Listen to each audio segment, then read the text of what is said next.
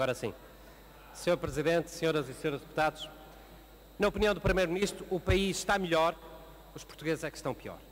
Não há nenhum país que esteja melhor quando a população está pior. Uma frase triste repetida pelos membros do governo, mas que resulta claramente do seu pensamento. Para a direita, o país está melhor quando os portugueses são mais pobres, quando há mais miséria e mais desempregados. Um país que imigra, que empobrece e que pela primeira vez na história vê o seu índice de desenvolvimento humano diminuir. A insensibilidade da atual maioria é gritante, mas não tem qualquer tipo de problema em se rirem durante um fim de semana, ao mesmo tempo que os portugueses sofrem com as suas políticas. Um governo que continua a cortar nas pensões e nas reformas, que corta no complemento solidário para idosos, naqueles que são os mais pobres. Soubemos agora que vai cortar ainda mais nas reformas de milhares de idosos.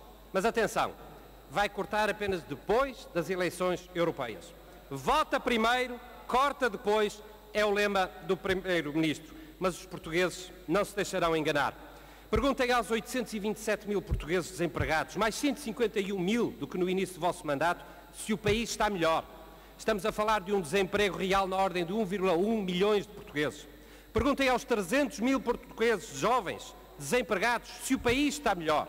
Alguns já nem conseguem perguntar porque vão emigrar no dia de amanhã. Perguntem a um número cada vez maior de casais desempregados, alguns deles com filhos em casa, também eles desempregados, ou aos mais de 50% desempregados sem qualquer tipo de apoio, se o país está melhor. Soubemos agora que o Governo quer acelerar a retirada dos inscritos dos centros de emprego. Criando emprego? Não. Mais uma operação cosmética para mascarar a realidade aos portugueses que apenas trabalham uma a dez horas por semana e são considerados empregados, perguntem se estão melhores. Mais 52 mil pessoas subempregadas desde o início deste mandato e aos milhares de portugueses com contratos precários.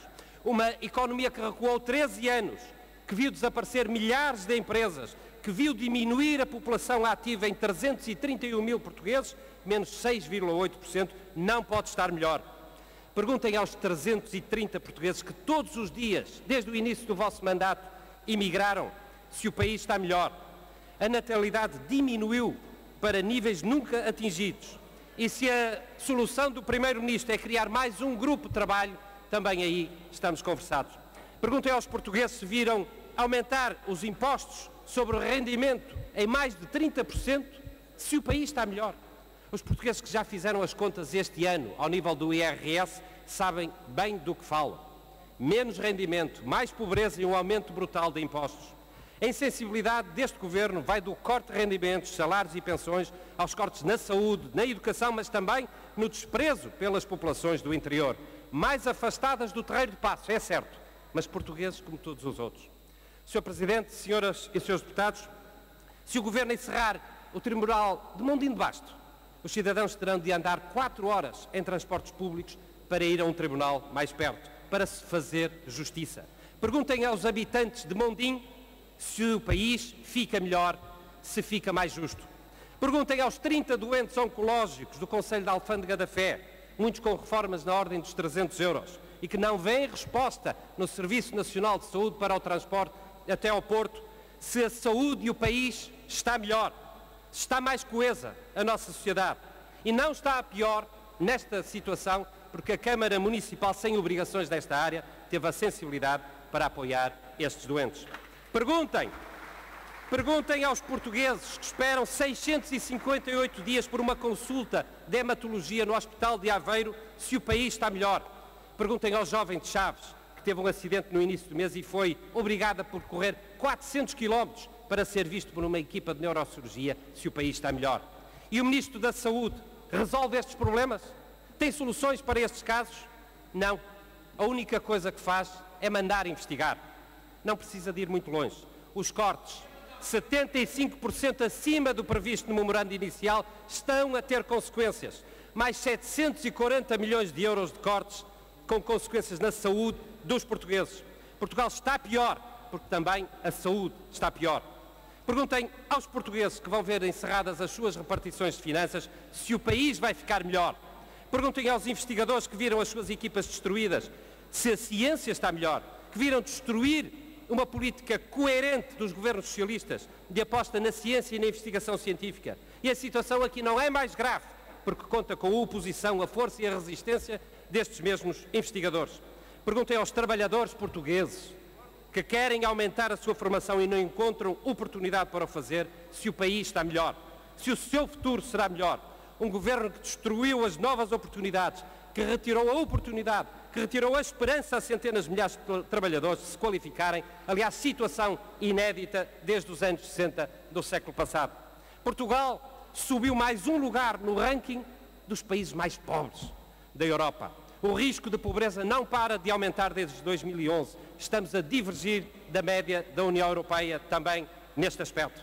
Este governo, legítimo, mas legitimado numa campanha eleitoral de mentiras, conseguiu a proeza de empobrecer os portugueses e o país, sem resolver qualquer problema estrutural, sem qualquer reforma. E até o guião da reforma do Estado, prometido pelo vice-primeiro-ministro irrevogável, ele próprio desapareceu. O primeiro-ministro atacou os trabalhadores e os reformados em vez de reformar.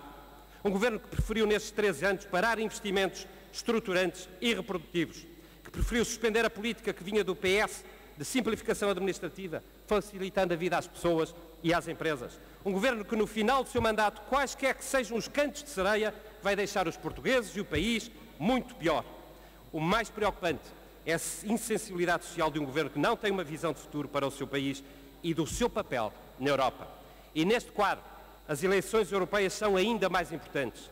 O candidato do governo, Dr. Paulo Rangel, é o rosto do desemprego em Portugal, do aumento dos impostos, da imigração de jovens. Será o representante da austeridade, do insucesso das políticas deste governo na Europa e será também certamente o representante da Sra. Merkel em Portugal.